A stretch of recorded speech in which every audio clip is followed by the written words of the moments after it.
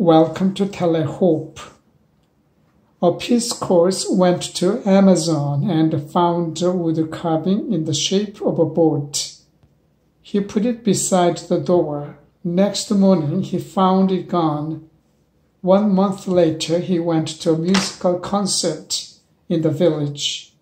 A village girl was playing a beautiful music on a harp, and to his surprise, the body of the harp was the wooden carving.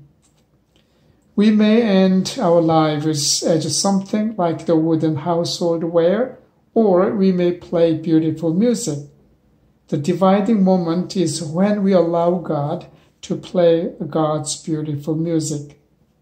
Here I am, send me, Isaiah 6 8.